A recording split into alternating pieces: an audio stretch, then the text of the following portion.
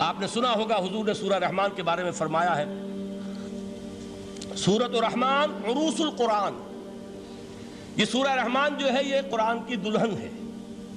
जैसे दुल्हन को आप खुशनुमा लिबास पहनाते हैं, आरास्ता पैरास्ता, उसको गहने और उसको जेवर पहनाते हैं। तो जिस तरीके से सजाते हैं आप दुल्हन को, अल्लाह ताला ने एक सूरत कुरान मजीद में ऐसी रखी है, सूरह रहमान की, उसे खूब सजाया है। इसमें अल्फाज का दरोबस्त, इसका अपना एक डिवाइन म्यूज़िक है।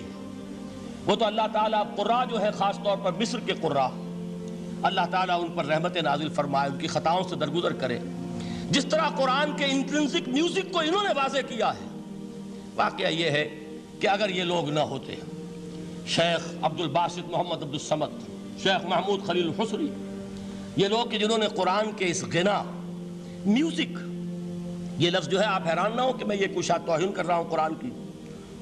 हुजूर ने ये लफ्ज़ इस्तेमाल किया है। तगन्नू, इस कुरान को अच्छी से अच्छी खुशलहानी के साथ पढ़ो।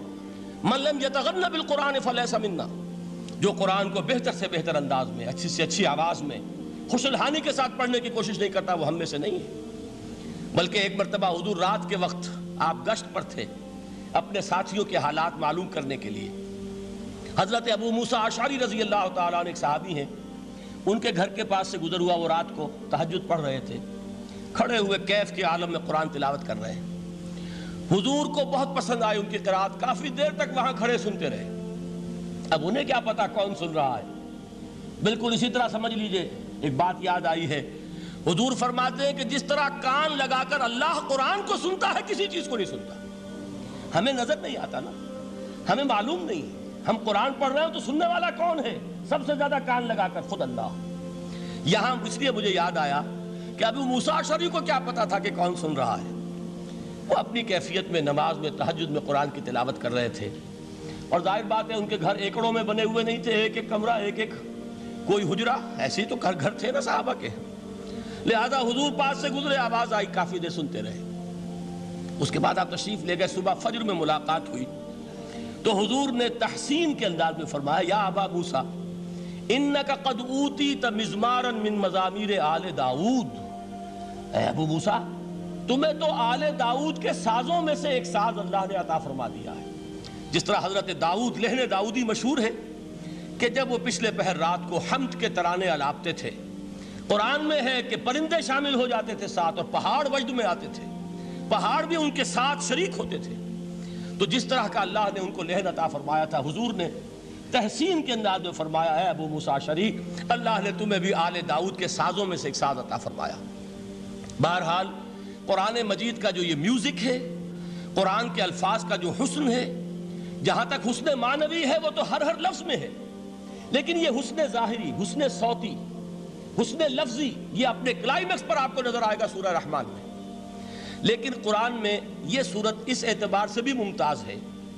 इसकी चार आयात पर जरा तवज्जो करेंगे, अजीब हकायक सामने आएँगे। जहाँ ये कुरान मजीद के हुस्न सौत और हुसन लफ्जी का की मेराज है, वहीं इसकी पहली चार आयात में चार चोटी की चीज़ों का ज़िक्र है।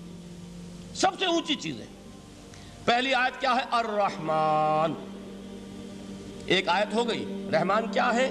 अल्लाह का नाम है। कभी आपने गौर किया अल्लाह के नामों में सबसे प्यारा नाम कौन सा होगा? रहमान। क्यों? इसका मादा क्या है? रहमत। हमें सबसे बढ़कर जिस चीज़ की ज़रूरत है वो क्या है? रहमत खुदाबंदी। नाम अच्छी तरह सुन लीजिए इस हजूर के कौल को।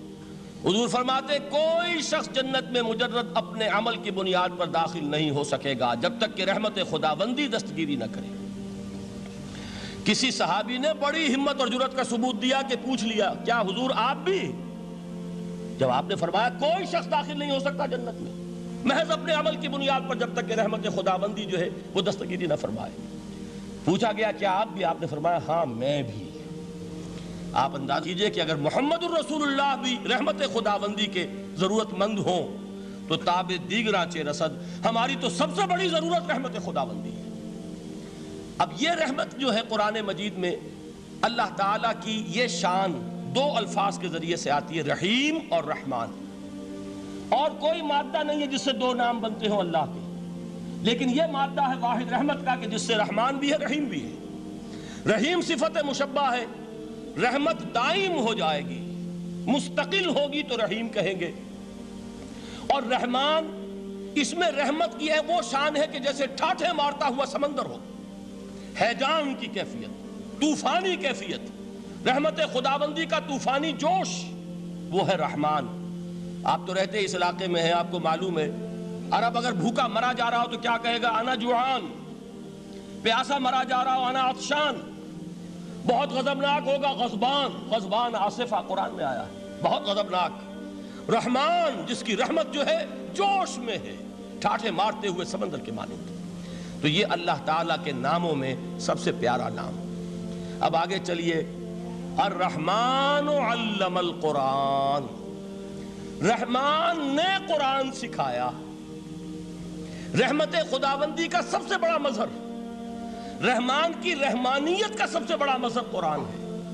इनमें जो मंत्र की रब्त है उसको समझते जाइए। अच्छा आप ये सोचिए, जो इल्म भी इंसान को हासिल हुआ वो किसने दिया? अल्लाह ने। साइंस का इल्म किसने दिया? अल्लाह ने। अल्लामा आदम असमा वो इल्म जो हज़रत आदम को दे दिया गया था अजल में, ये उसी का जहूर है। ये उसी की एक्सफोलिएशन है, जो हो रही है और होती रहेगी अभी। और दो और दूसरे इल्म है, वो किसने दिए? अल्लाह ने दिए। ला यही नबिशन इल्म ही अल्लाह मखलूक में से कोई अल्लाह के इल्म में से किसी शय का अहाता नहीं कर सकता, मगर वो जितना अल्लाह देना चाहे। लेकिन यह कि तमाम उलूम में चोटी का इल्म, कुरान। नोट करते जाइए अब चोटी की चीज़ें जमा कीजिए। अल्लाह के नामों में चोटी का नाम, रहमान। अल्लाह ने जो कुछ इंसान को सिखाया, उसमें चोटी का इल्म, कुरान। खलकल इंसान। इंसान को पैदा फरमाया। सवाल यह कि हैवानात को किसने पैदा फरमाया? आसमान किसने पैदा किए? ज़मीन किसने पैदा की? फरिश्ते किसने पैदा किए? क्या मतलब खलकल इंसान? उसकी तमाम मखलूकत में, उसका क्लाइमैक्स उसकी तखलीक की मेराज, उसके तखलीक का नुकता अरूज इंसान है। यह है कि जो मसजूद मलाइक बना है।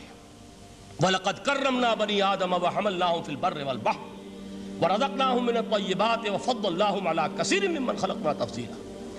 तो तखलीक में सबसे ऊँची तखलीक इंसान की। इल्मों में सबसे ऊँचा इल्म कुरान का। अल्लाह के नामों में सबसे ऊँचा नाम रहमान।